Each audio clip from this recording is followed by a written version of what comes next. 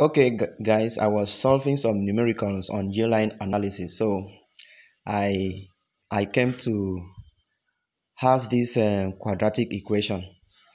So I have um, this uh, Casio calculator uh, FX82MS. So I was thinking of you know a way of calculating this thing very quickly. So I got a way of doing it. I just want to share in case you have you have been thinking of how to calculate quadratic equation using this type of calculator.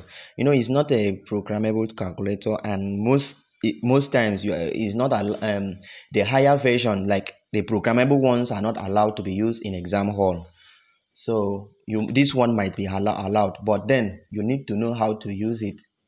So so I I have calculated this um quadratic equation using quadratic formula. So this is the answers I got. And you know, in engineering or any anything that you that has to do with measurable something, we have to use only the positive answer. The negative, we have to discard the negative one. So actually, my value, the value, the positive value is the answer. That is 1.764. So let's see how we can use this uh, calculator to solve this this is the calculator. Let's see how we can use this calculator to solve this.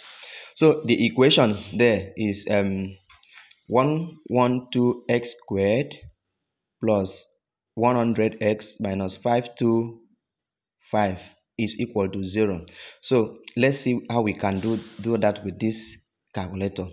So first of all before you start you have to click mode when you are on the when you see those uh, three uh, parameters coming out you click uh, you you you click 3 just press on 3 and then you see another options. You see the arrow there. That means that there are still other options. You you you press on the right uh, arrow key and you see quad. That that should that should stand for quadratic equation. So you come and press 3 now your calculator is set to you know calculate on uh, calculate quadratic equation. So what you do next is you you type this c. How do you type c? You you type alpha c. You type comma. Okay now you are set to type the equation. You type 1 1 2 it should be x squared but i'm going to use c. So you type alpha c squared plus 100 in place of x i will type c. That is for you for you to type that c. You now use alpha key and then this height key will display c. Then minus i will type 525 okay so that is it. But before you check for answers, you have to press this M plus button four times. So you press it one, two, three, four. You see? So at that point, we have to check our answers. How do you check the answer? You press shift key, you press this two. This two, really, we are actually pressing S V A R SVAR. So we have already pressed shift so that we are going to use that uh, uppercase. When you press that, you see options. The arrow here means that there are still other options. You still press the arrow key. You see other options. You still go and press. You see there's still options. So this is where we are going to get our values for x. So first of all, we are going to get value for x1, which is 1 and then x2 which is 2 first you press 1 once you press 1 you see what is coming coming out as answer x. So what you do is you use this arrow key go to where you the last the last uh, letter the a.